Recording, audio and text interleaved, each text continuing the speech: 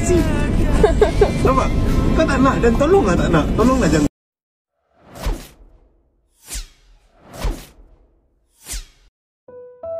Menerusi satu perkongsian video di laman TikTok, wanita dikenali sebagai Alia itu sedang dalam perjalanan ke sebuah pusat beli belah seorang diri dengan menaiki Grab. Alia pada waktu itu sedang merakam dirinya yang sedang bersedih sebelum secara tiba-tiba ditegur oleh pemandu terbabit yang seolah-olah menyedari penumpangnya sedang dalam kesedihan.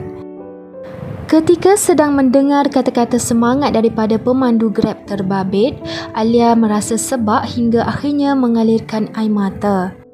Di akhir perkongsian, Alia menasihati orang ramai agar tidak mengikuti cara yang dilakukannya lebih-lebih di saat cuaca di Malaysia yang tidak menentu.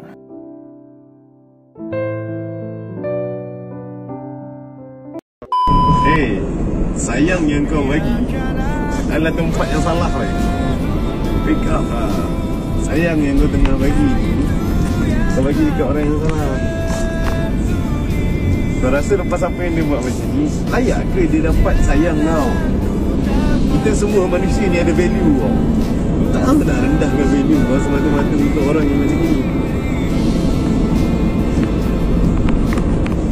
Kalau hari ni dia buat kau macam ni, apa tu kau masih Faham tak maksud aku? Jawab soalan aku dengan mudah Kau jawab je Fikir kejap lah Lepas tu kau bagi aku jawapan Boleh? Kalau dia dah break lagi Lepas tu dia datang balik Kau nak dia balik? Tak nak.